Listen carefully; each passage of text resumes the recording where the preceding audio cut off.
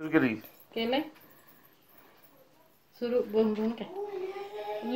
आदर्श घेत आजचे मदत घेणारे पूरग्रस्त निलेवाडीकर भविष्यात देणारे होती होती लूप. अदृश्य काळ सिद्धेश्वर स्वामी कोल्हापूर.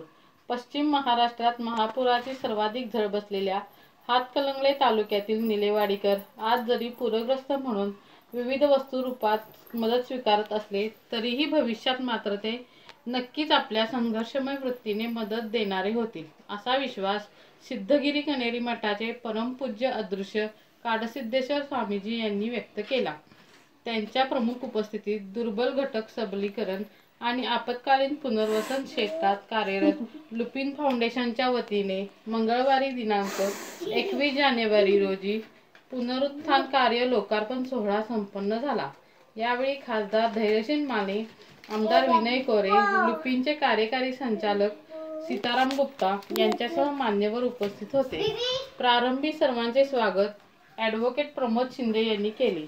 आपल्या प्रास्ताविकात लुपिन फाउंडेशनचे कार्यकारी संचालक सीताराम गुप्ता यांनी गेली तीन वर तीन महिने प्रत्यक्ष पुरात आणि त्यानंतर शास्त्रशुद्ध सर्वेक्षण करून लुपिनने या निलेवाडी गावातील बारा पूरग्रस्त कुटुंबियांना नवीन घरे सुपूर्तीसह अंगणवाडी जिल्हा परिषद शाळा नूतनीकरण गावाचा पार उभारणे पिण्याच्या पाण्याच्या टाकीचे नूतनीकरण सव्वीस कुटुंबियांना व्यावसायिक उभारणीसाठी मदत अपंग कुटुंबांना विशेष मदत.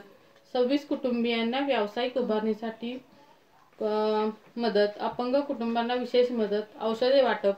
यासह विविध बारा सेवांची परिपूर्ती केली आहे. भविष्यात ही विविध कामातून हा सामाजिक बांधिलकीचा ऋणानुबंध अधिक घट्ट केला जाईल असे अभिवेचन दिले. यावेळी बोलताना खासदार धैर्यशील माने यांनी निलेवाडीकराशी माझ्या आई आणि आजोबांपासून ते माझ्यापर्यंतच्या तिसऱ्या पिढीतही खासदार पदाच्या विजयात आघाडीच्या मतांसह स्नेहबंध कायम आहे.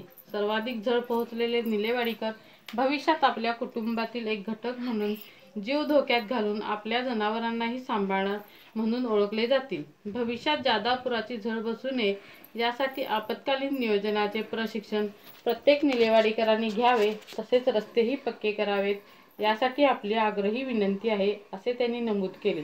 वारणा सहकार आणि उद्योग परिवाराशी निलेवाडीकरांचा पिढ्यानपिढ्या जबाबदार कुटुंब घटक म्हणून नेहमीच सहभाग राहिला आहे. औषध निर्मिती क्षेत्रातील लप लुपीने सामाजिक बांधिलकीतून जपलेला ऋणानुबंध भविष्यात दुर्लक्षित धनगरवाडी वस्तीपर्यंतही पोहोचावा अशी अपेक्षा आमदार विनय कोरे यांनी व्यक्त केली. पुणे विभागीय लुपींचे योगेश प्रभू यांच्यासह अमृता जाधव या विद्यार्थिनीने यावेळी मनोगत व्यक्त केले.